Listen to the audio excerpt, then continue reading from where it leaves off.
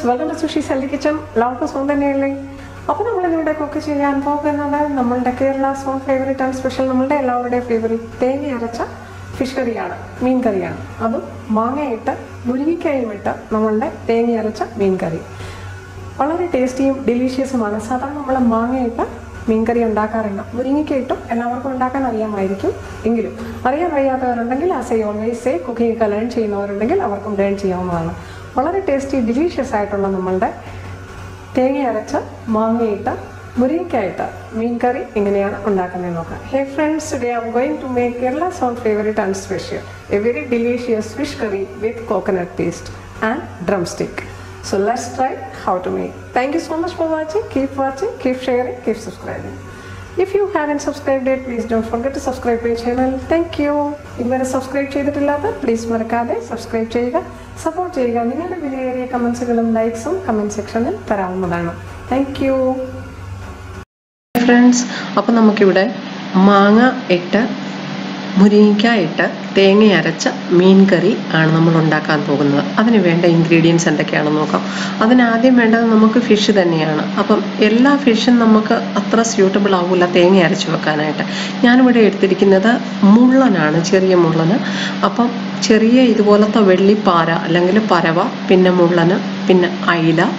ഈ മീനുകളൊക്കെ നമുക്ക് മാങ്ങാ കൊത്തും പിന്നെ മുരിങ്ങയ്ക്കയും ഇട്ട് വെക്കാൻ തേങ്ങ അരച്ച് വെക്കാൻ സ്യൂട്ടബിൾ ആയിട്ടുള്ള മീനാണ്. അപ്പം മീൻ നല്ല വൃത്തിയായിട്ട് കഴുകിയെടുത്ത് ഞാനിവിടെ വെച്ചിരിക്കുകയാണ്.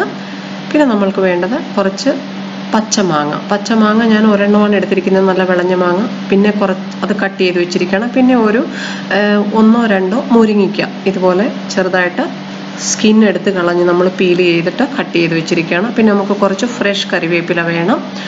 പിന്നെ ഒരു അല്പം ഇഞ്ചി ചെറുതായിട്ട് കൊത്തി എരിഞ്ഞത് വേണം. പിന്നെ ഒരു രണ്ട് മൂന്ന് പച്ചമുളക് കട്ട് ചെയ്തത്. മുളക് നമ്മളുടെ ഇഷ്ടത്തിനനുസരിച്ച് ചേർക്കാവുന്നതാണ്.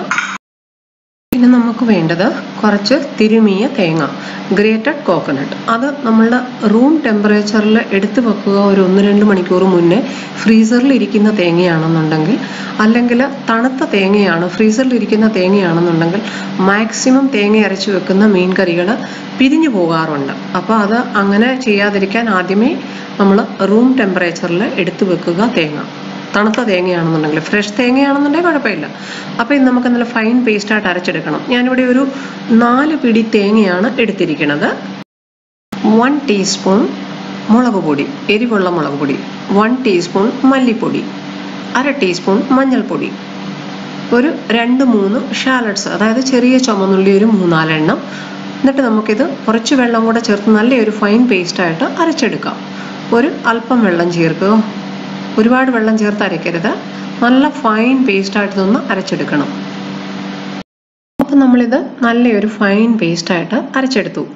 ഇനി ഇത് മീനിലോട്ട് ഫിഷിലോട്ട് ചേർത്ത് കൊടുക്കുക. എന്നിട്ട് ആ അരച്ചെടുത്ത മിക്സിയിൽ തന്നെ കുറച്ച് വെള്ളമൊഴിച്ച് നമുക്കിതിൽ മിക്സ് ചെയ്യാവുന്നതാണ്. നമ്മൾക്ക് ആവശ്യമുള്ളത്ര വെള്ളം ചേർക്കുക ഒരൽപ്പം ഉപ്പ് ചേർക്കുക.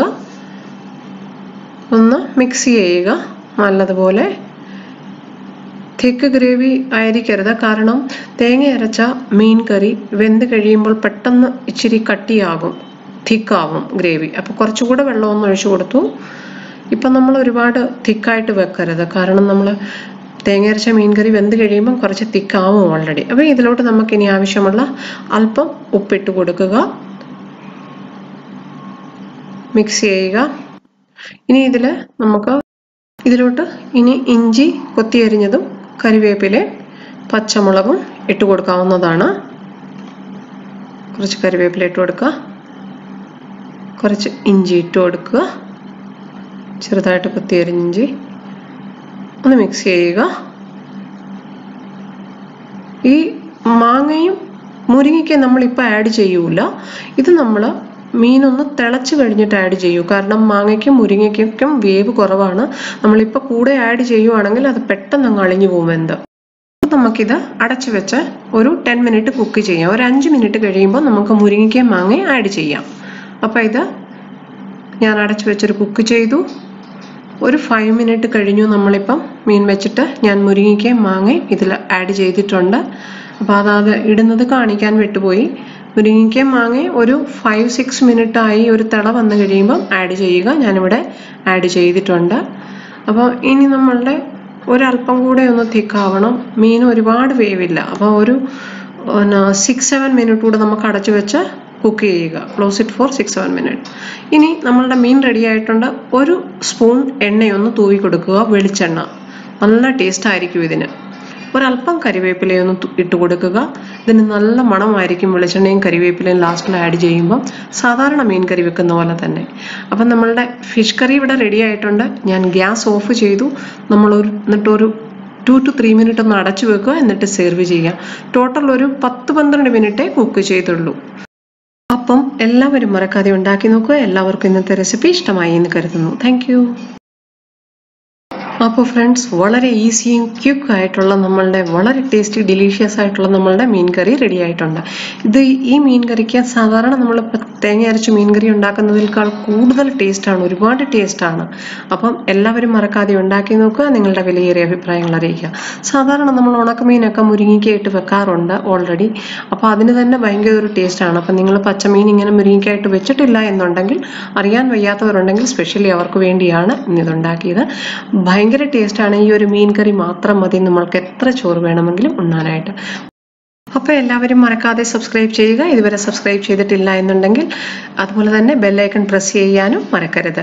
Hey friends if you have in subscribe date please don't forget to subscribe my channel thank you so much for watching keep watching keep sharing keep subscribing thank you so much for watching eat healthy stay healthy thank you